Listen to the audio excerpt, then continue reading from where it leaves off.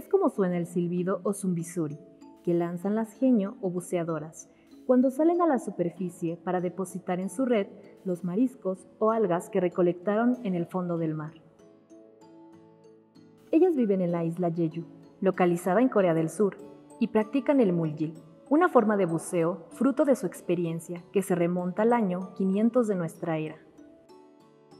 Las genio se zambullen sin el uso de tanques de oxígeno y conteniendo la respiración, logrando sumergirse entre 3 y 10 metros de profundidad.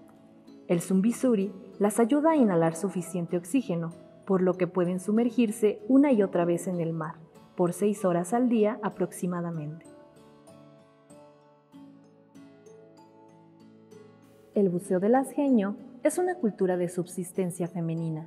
Este tipo de pesca procede de saberes empíricos, probados, acumulados, intercambiados en la práctica cotidiana, lo mismo que heredados entre generaciones de mujeres, con el único propósito de cosechar mariscos y algas que luego son vendidos para sostener la economía familiar y comunitaria. Por ello, puede afirmarse que los valores del muljil son el cuidado, la reciprocidad y la subsistencia mutuos.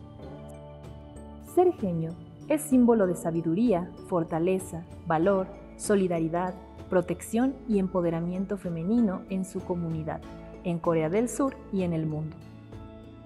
Las genio aprenden a nadar desde los 6 años de edad y realizan sus primeras inmersiones alrededor de los 11.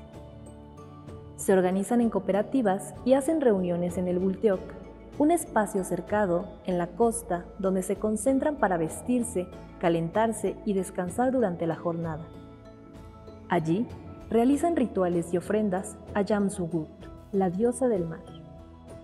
En ese lugar, las líderes transmiten a las más jóvenes e inexpertas conocimientos sobre geografía, ecosistemas y corrientes marinas. En razón de su experiencia y años de práctica, las genio se dividen en tres categorías. Las sangun son las líderes del grupo y llegan a sumergirse hasta 10 metros de profundidad. Las hungun son las avanzadas y pueden realizar una inmersión mayor de 5 metros, mientras que las Hagun son las principiantes, por lo que solo se sumergen entre 3 y 5 metros. La práctica del asgenio es ecológica, pues sus conocimientos, técnicas, utensilios y herramientas son completamente amigables con el mar. No contaminan las aguas con sustancias o desechos tóxicos, la zona de buceo o granjas marinas, como ellas las llaman, se dividen entre las cooperativas, así como las temporadas de cosecha para no agotar las especies.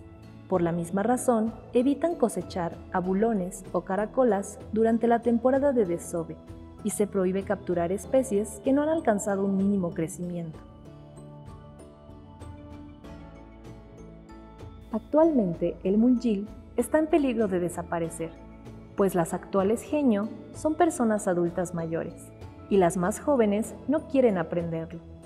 En 2016, la cultura de las genio de la isla de Jeju se integró a la lista representativa del Patrimonio Cultural Inmaterial de la Humanidad de la UNESCO.